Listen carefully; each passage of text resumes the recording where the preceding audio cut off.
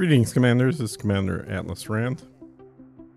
Uh, I wanted to show you, and I'm starting this video about 10 out. No, not, not 10. Probably 8 hours after getting to this location. Uh, and I'll actually record what the beginning would look like later. But I wanted to start off by showing you what an semi AFK, meaning, uh, you know, there's a person by the keyboard the whole time, of course, but not looking at the screen, build can do by itself at a uh, resource extraction site. so I didn't even go to a low, I went to a regular resource extraction site.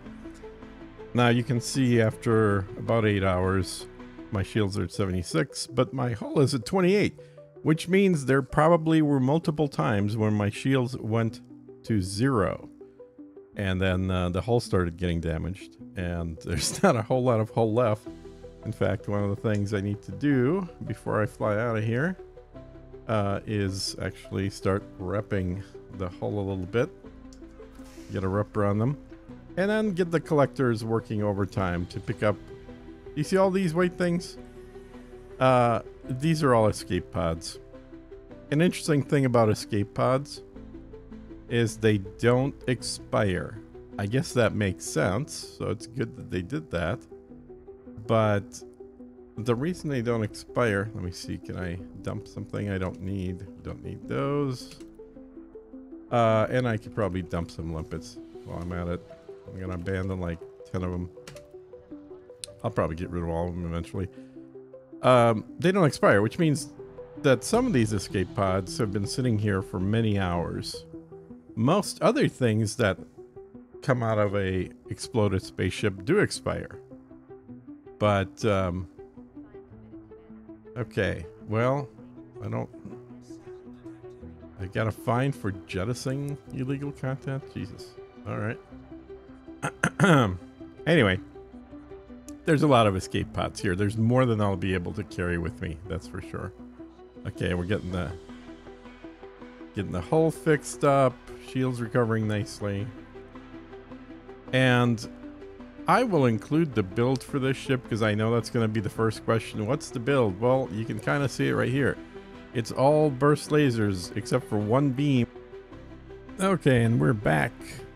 So this is the ship that I'm using for the semi AFK while I'm watching Netflix stuff. Uh, let me uh, show you what all it's got. So we're got we've got everything's long range, and the reason I went with long range uh, is because lasers have a, a, pretty short, well, certainly burst lasers, um, pretty short full power range. It's actually 500 meters.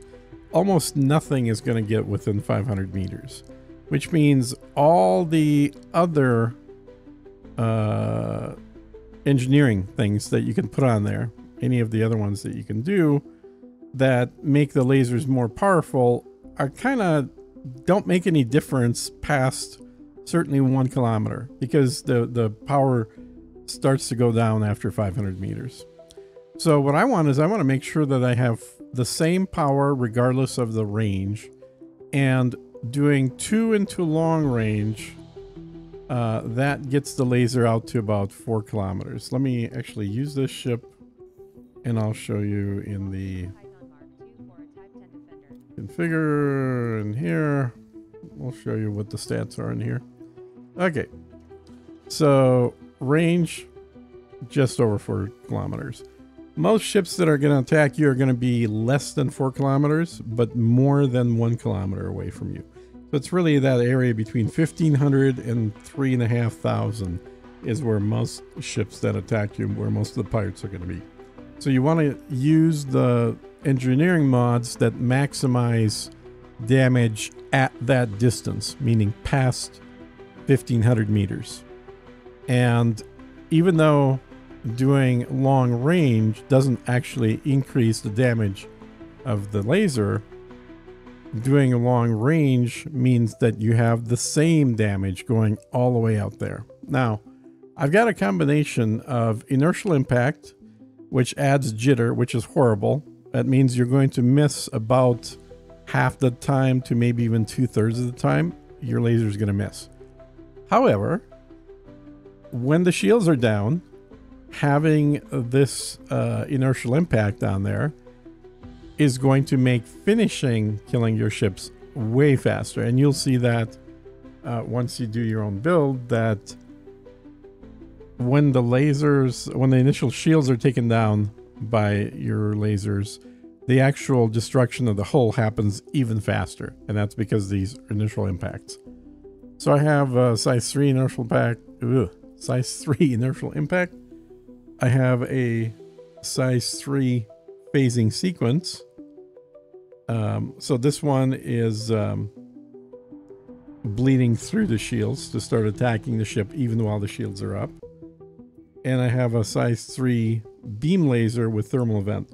And this this really is to keep the temperature of my ship cool so that as I run out of capacitor, which I am absolutely in the way that I'm playing running out of capacitor on a regular basis, the ship would start heating up. Well, because I have this thermal vent and it's long range and it's actually up to 4,800 meters, which means it's going to be the first laser that hits somebody as they're further out or the last laser, depending on how you look at it. Point is, in any range, it's going to be putting out the exact same amount of damage, but more importantly than damage, it's going to be putting out the same amount of uh, thermal vent effect, so it's going to be cooling off my ship. And that is vital to not damaging your own ship due to um, overheating. Because, you know, if you're not paying attention to what's going on, you could get into that situation. Now, the rest of the lasers are going to be burst lasers. So this one is, once again, inertial impact. So we have two inertial impacts, one on top, one on the bottom. Burst laser on top. The beam laser is on the bottom.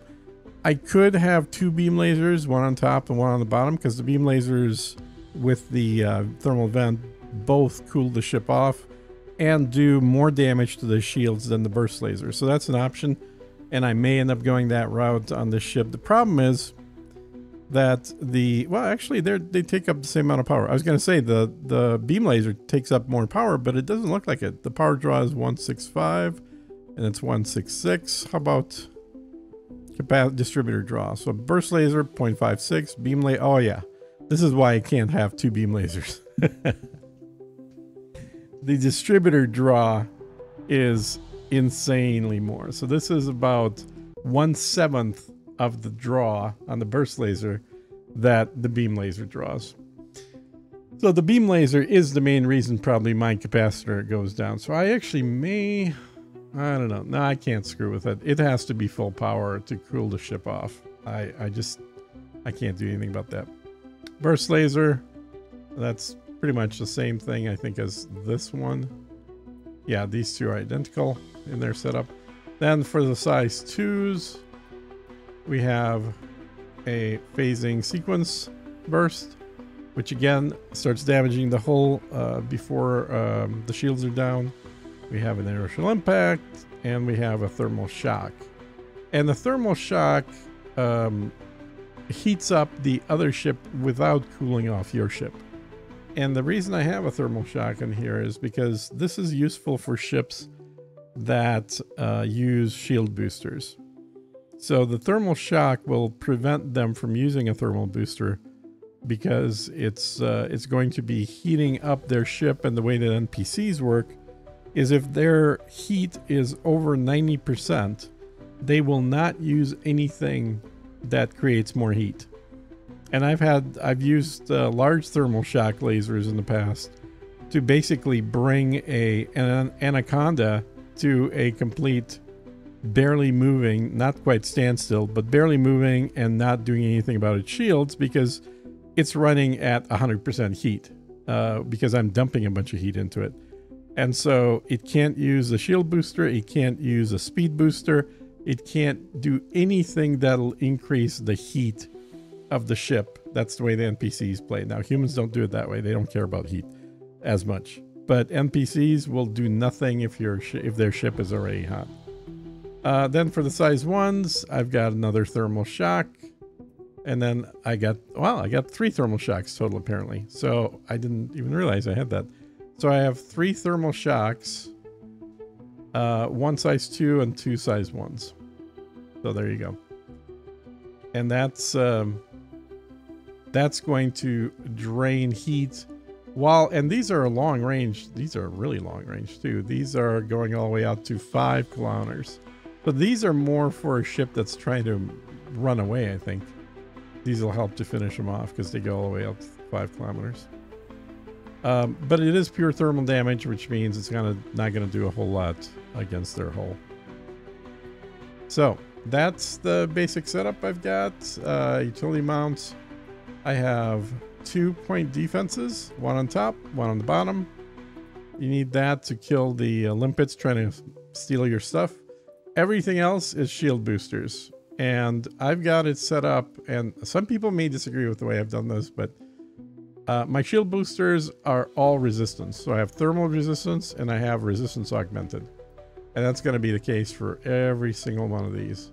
And the reason for that, um, oops, yeah, so they're all resistance. The reason for that is because I want the fastest recharge time on the shields.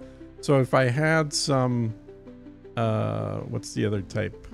The, whatever it is, the type that basically increases the, um, the size of the shields rather than the resistance of the shields.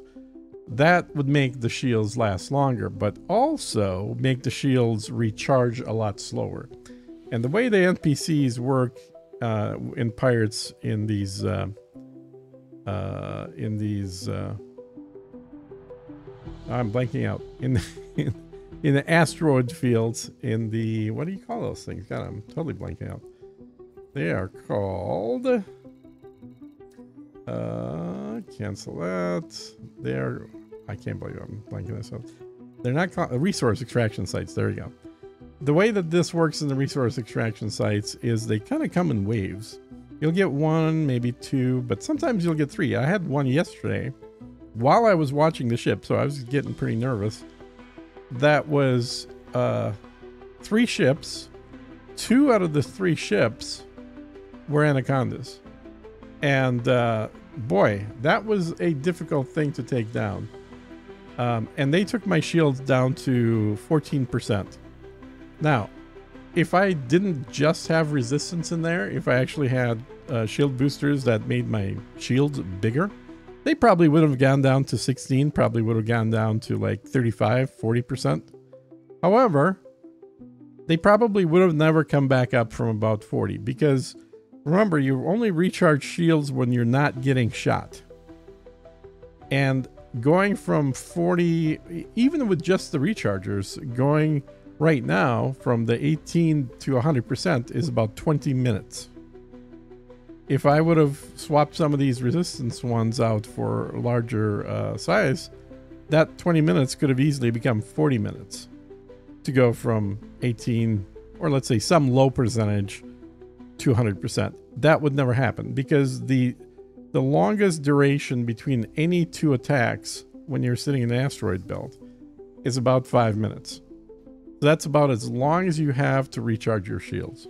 So right now, the way that it's set up with almost uh, just resistance here, the shields take, um, they can recharge about three to four percent between any attack, and they can recharge about ten percent when there's a large gap between attacks. And the large gap usually happens when you've killed multiple ships all at once it seems like, and again, this is just anecdotal. It's not the way the game is set up. Like, I don't know if this is true every single time, but the way it seems is that uh, if you kill two or three ships all at once, you've got about a five minute lull without anybody attacking you.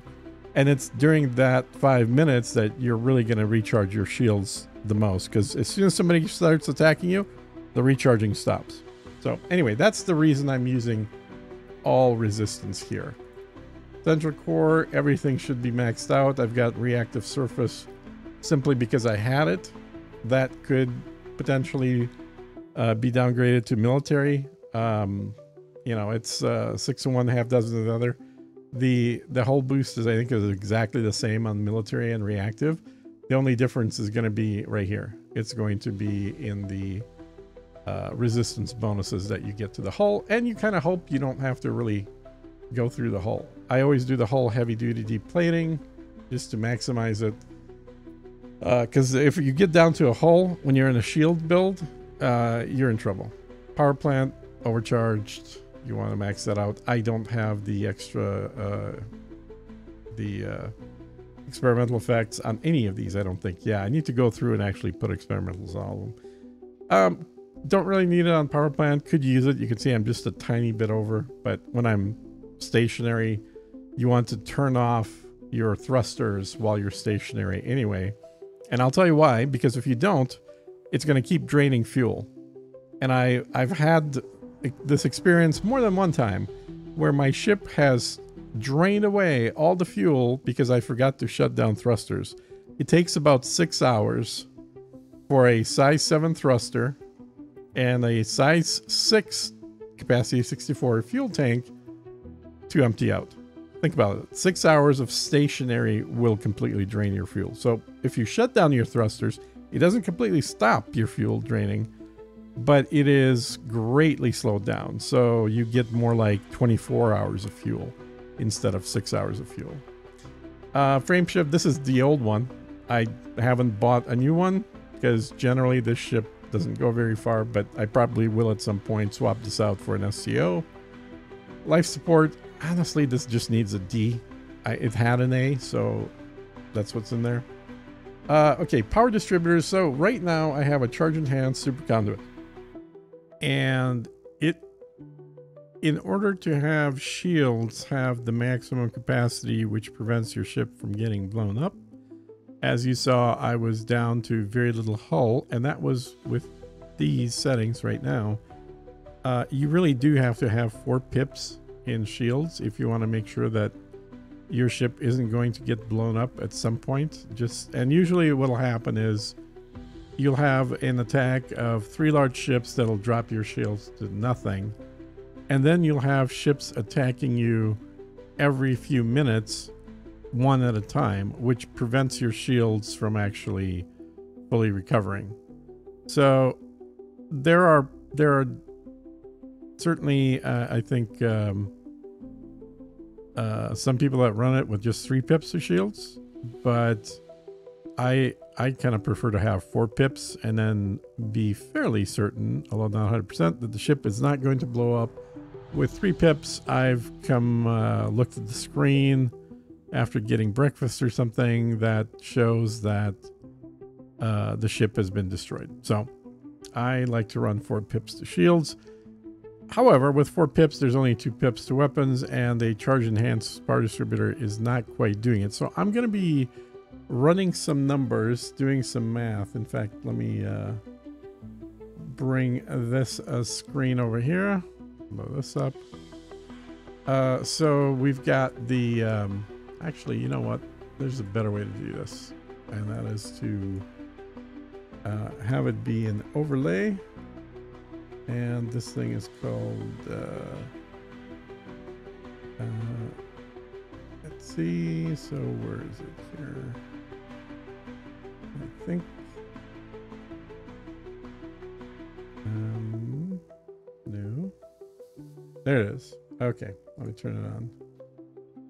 And then let me blow this up full screen full screen ish so this should show you um let me do this. There we go. And then I can expand this a little bit. There we go. So you can see that I, I can play around with it. So one thing I do is I, I turn off the thrusters when I'm parked which means my uh, power levels are perfectly fine. Don't need to do anything more with that.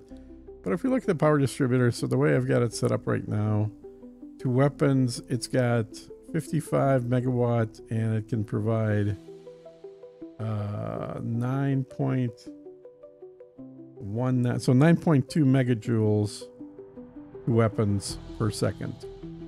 So what if we were to put in a so to charge enhanced, do a weapons enhanced. That would put in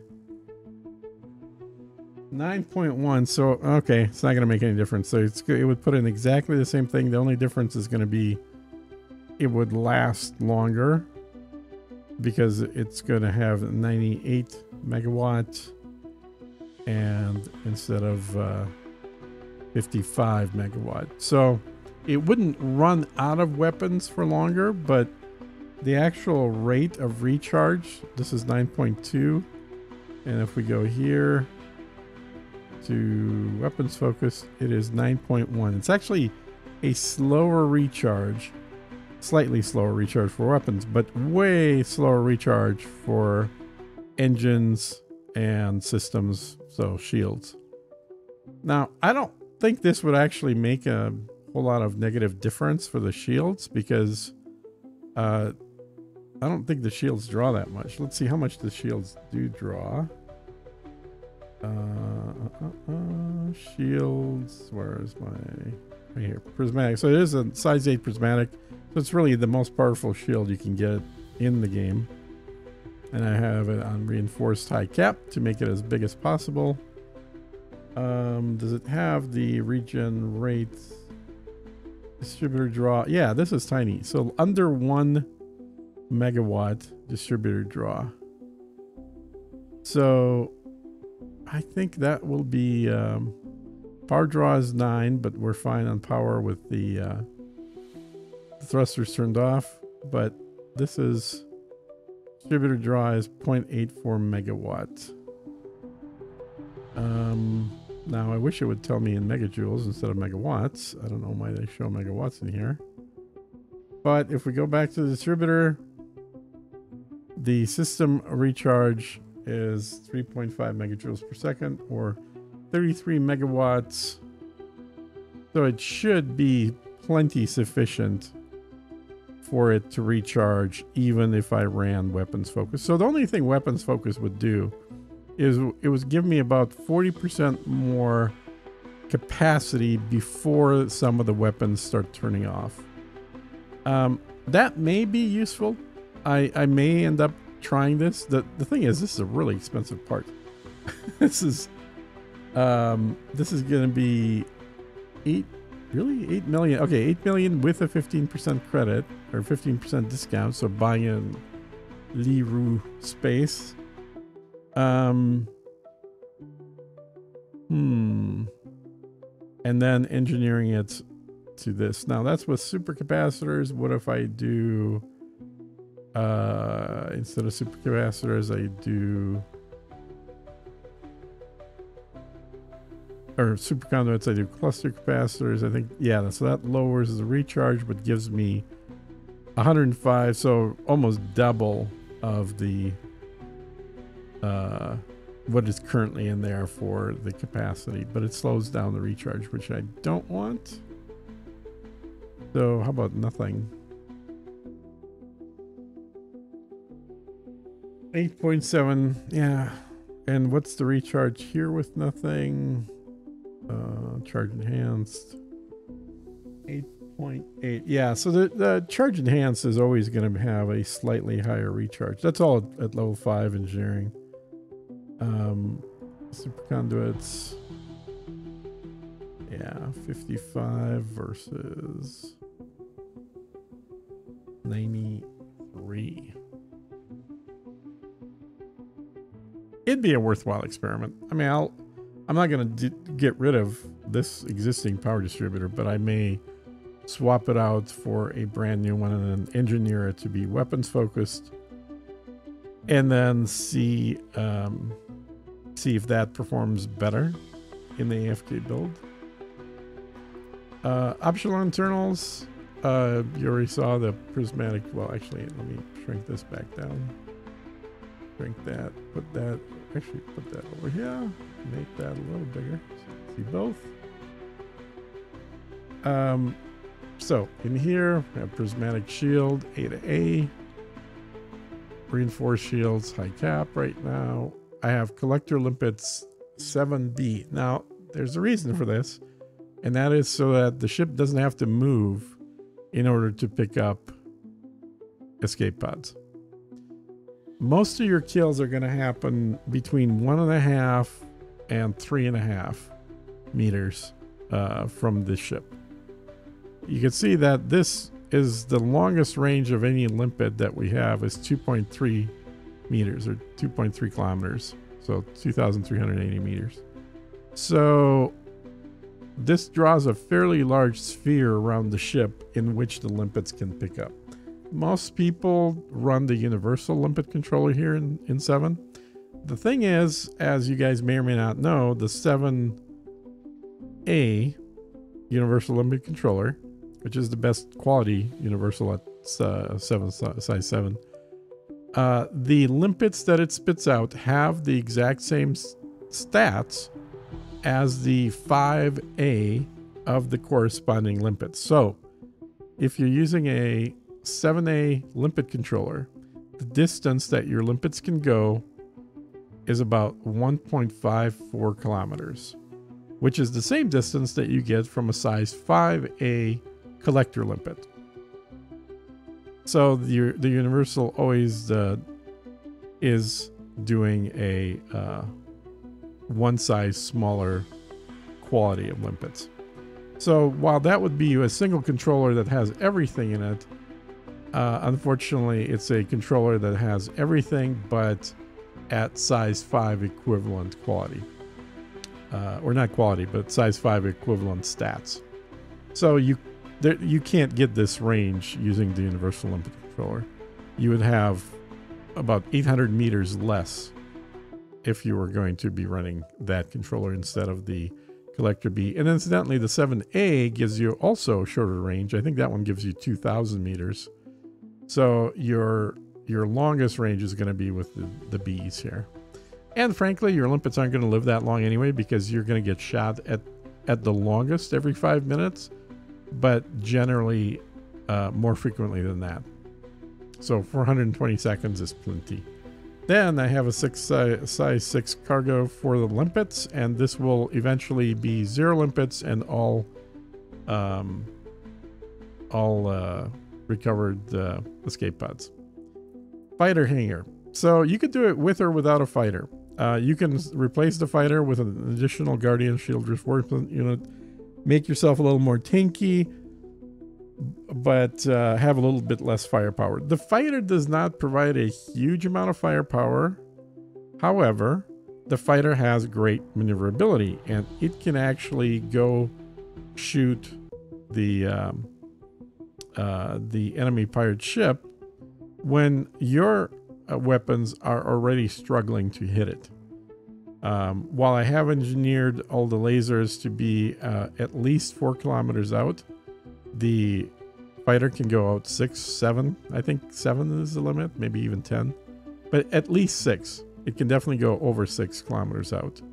And sometimes that's the difference between a pirate running away and uh, warping out and the pirate getting killed and you getting a bounty. So there's a pro there for the fighter.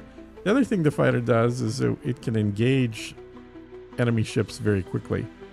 And that's another benefit. So you start attacking sooner.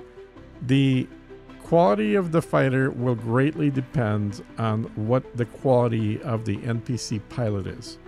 So if you have a beginner level pilot for your NPC, then the fighter is probably not going to be the best option. You'll actually do better just putting in additional shields. Um, Guardian shields is the only way to add more shields from inside the ship using the optional internals. Uh, there is there are no human versions of this, so you have to unlock Guardian Shield reinforcement. And so I've got two of them in here. I've got some hull reinforcement. This was the only thing keeping my ship alive in the beginning of the video. I've got a repair limpet. You do not need a repair limpet. You can just put another hull reinforcement here and your hull will last a little longer or put another shield reinforcement to get a little more shields. I just I think at some point I put this on and I haven't taken it out. Um, but what I do with it obviously is if I can buy the computer and I see that the uh, there's hull missing, then I'll pop out a repair limpet, start getting it repairing, and then uh, walk away and get my food or whatever. So it, it's one of those things where um, you don't need it, but if you have it, you can make use of it, and that may mean that you can stay out a little longer without needing to jump back. But generally, if I was building this from scratch, I probably wouldn't put this in there. Then I didn't have anything in the two slots, so I just put another shield reinforcement units. So this just adds another 100 shields, but with the shield stats that I have, let me switch to the shield stats.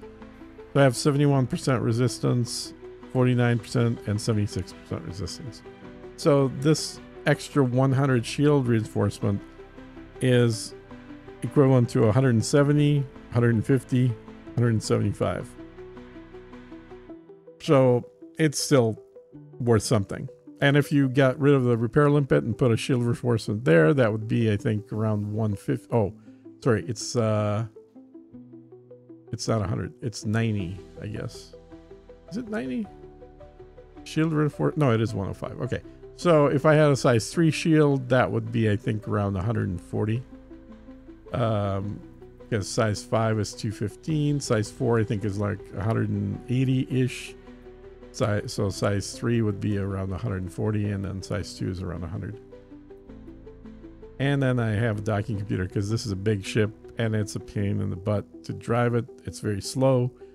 So I'd rather have it dock itself. So there you go. There's the build explained for the fighter. I have the Condor. Um, it's a, just a good all-around fighter. Uh, it, it has um, multi-cannons in it. And unlike normal multi-cannons that you would run, these never run out of ammo. So having a fighter that can do damage to the hull, I think is better than a fighter that can do damage to the shields for one simple reason, which is when an enemy NPC pirate ship is in low health, they will usually try and escape and warp out and prevent you from getting the bounty. Having multi-cannons in there that do damage to the hull ensures that your fighter will chase them down, shoot them, and kill them and you will get the bounty. So that's why I usually like to have a uh, a hull attacking.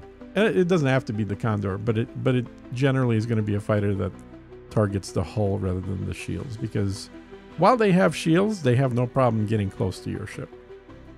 So that's the build. You can see how slow it is. It is super slow. You can see how slowly it turns, super slow. Okay, and at this point we are ready to head out. Let me just get a couple of things. First of all, you need a crew. So there's my one guy. He's uh, 8% past dangerous. So he's getting close to elite, which is great. But check out how much money he's stolen. Or I mean, I paid him since I got the uh, the NPC crew. Two billion three hundred thirty-one thousand 110 or 331 million 110,490. So that's 2 billion that he's cost me essentially for being a mediocre to okay NPC pilot. So I'm I have not bothered getting any of these crew on my other accounts. This is the only account that's got one and I kind of want to get them to elite first. The other thing you will need is limpets. So uh, pick up, I'm to pick up probably like, let's see, let's get probably 63 limpets because I'm to get also need to have something worth stealing. The limpets are not worth stealing. So let's get, uh, oop, keep hitting the wrong button here. Let's get a um I don't want to risk that. We actually we can get the uh occupied escape pods. What's the other one? Damage escape pods, I think. See if I have any of those. Nope.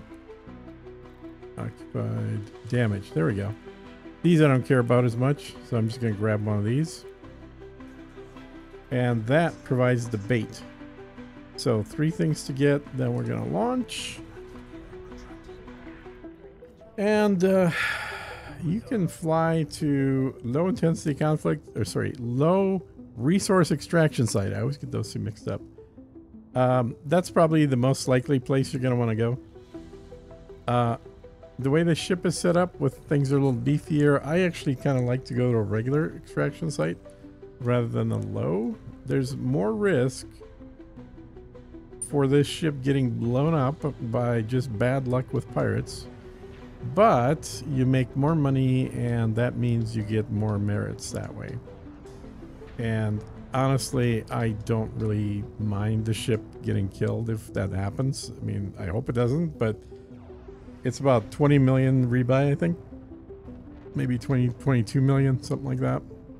Um, so it's not super cheap, but I'm going to make more than 20 million in bounties. Although you do lose all the bounties if your ship gets blown up. So there's that. But it, it's not hard to make 20 million to pay for a new ship. And if it doesn't blow up, then the extra bounties that you get in a regular one and the regular the higher merits as a result of that are somewhat justified. Now, I'm not going to encourage anybody else to do this. Um, definitely start in low. If this is your first semi-AFK ship, definitely start in low. And if if it lasts without getting killed, and if it doesn't go into the hull especially, then feel free to move to a regular extraction site. I do not recommend going to a high. There's just too much opportunity there for ships with shield boosters to kill you. And less police to help you. Because a big part of what helps in these low and regular is the amount of police presence. So I'm going to start slowing down. Uh, apparently I have a mission there somewhere that I didn't even know about. Alright. Must be one of those auto-accepting missions. I like to fly a little bit high, a little bit above the actual site, and then dip down as we get closer.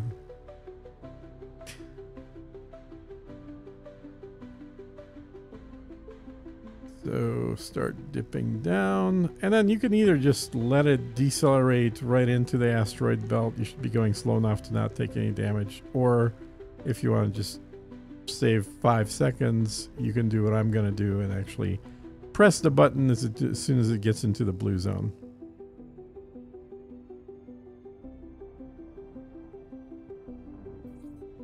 Right there.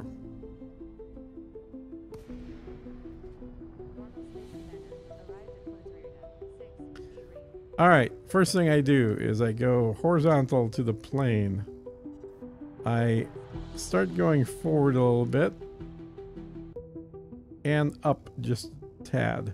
I want to be above the... I'm almost above it right now. Okay, good. So now I can actually stop moving sideways and start going straight up. Which is what I'm doing right now.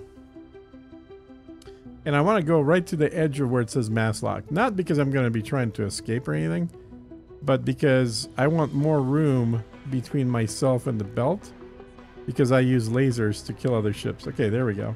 So now we just... Oh, look at that. Already getting attacked. So I need to pop all these lasers. I need to pop this guy. And I need to shift all my pips into weapons and shields. So let's get him out. There you go, Peyton. You can go help. I like to point at the resource extraction. Uh, and then I'm going to um, turn off the thrusters to save on energy. It's going to go from 3.85 per hour down to 2 something. Or, well, maybe 3. Alright, because the lasers are going. That's also using. So Peyton's fighting. Let's see what this looks like.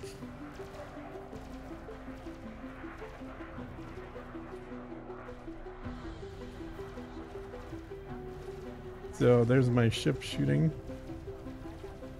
And there's the police shooting the same person as well.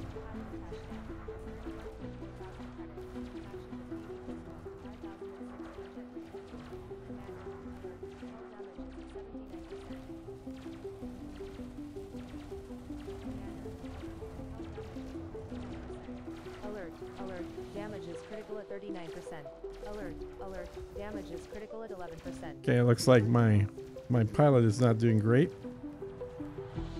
So he's about to pop. Nope, he's still alive, surprisingly. I'm going to pull him in though. Recall and get get his ship fixed. Or her ship fixed. I guess Peyton could be either or.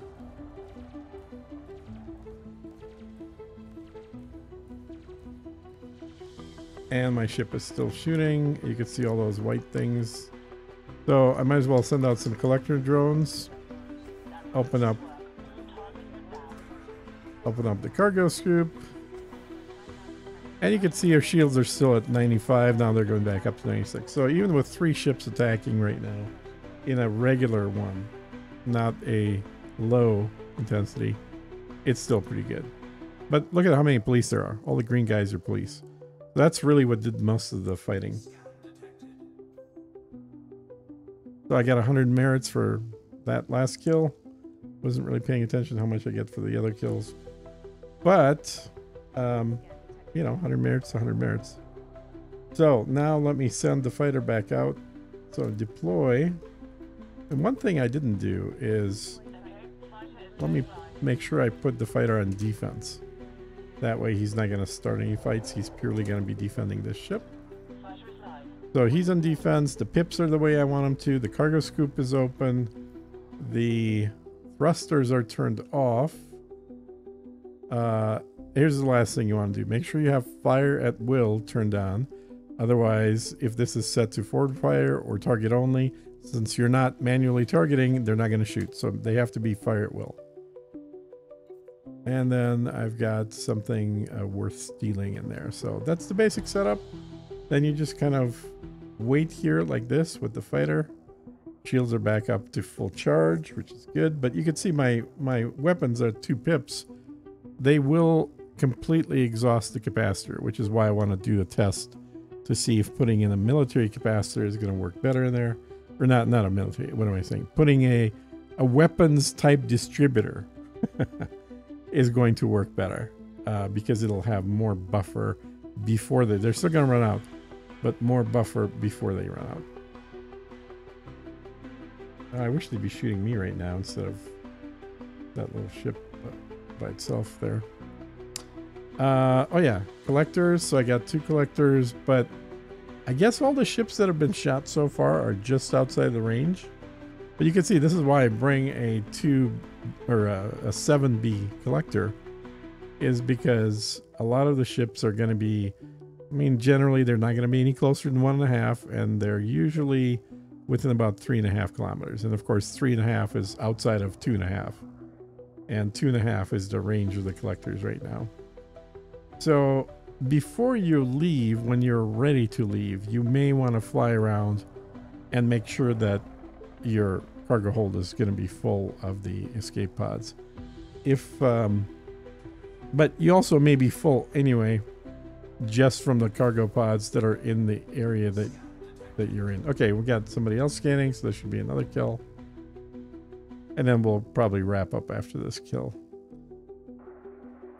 Oh, no, no. Here we go. Now they're shooting.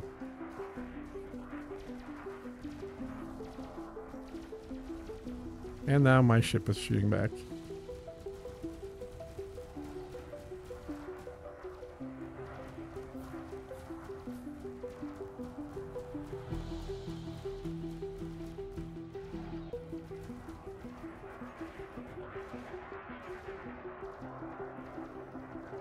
The yellow beams are the um, the ones that do damage to the hull. So you can see with that 3% jitter, they're missing a lot. They're probably missing like 80% of the time. But when they hit, they hit.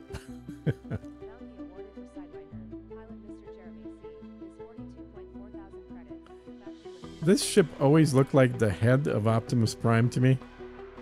Uh, from the uh, Autobots. Does anybody else see that? And if you see it, you'll never be able to unsee it again. And that's that's actually the name of the ship that I have. And the fighter just zoomed back to uh, being in his usual parked position. next to the ship. All right, guys. With that, I will wrap it up. I guess that got me 16 merits. Whoop de doo. But still, again, it's 16 merits while I'm doing something else, and it looks like it's attacking another ship right now. So, what are you shooting there? Oh, one more setting. So, if you stayed to watch this far, you want to make sure you do, and that is okay. This was 50,000 bounty, so how many merits? Probably some very small amount of merits. Um, here's the other setting you need to change. You need to go into ship. Oops. Need to go into ship. And then you need to go into report crimes on. So normally I tell people always have this off. Anytime you're fighting Thargoids, anytime you're with other people, always have that off. Because if you don't, you may be trying to hit one ship and then you accidentally hit somebody else. And the next thing you know, um, well, actually, if you hit them, it's it's going to be whether they have this setting on. But they can hit you accidentally, and if you have this on, they will end up in prison next time they're dead. So make sure you always have it off when you're playing with other people. When you're doing this, though, you want report crimes on because that calls the police. So uh, having report crimes against me turned on ensures that you have help doing this. All right, so uh, video I was thinking would be very short, turned out to be a little longer, but hey, um, if you watch the whole thing, then you got all the bits. People that just zoom through it will only get about a third of the advice because I, I really kind of spread what I am telling people to do across the whole video. We'll catch you in the next one.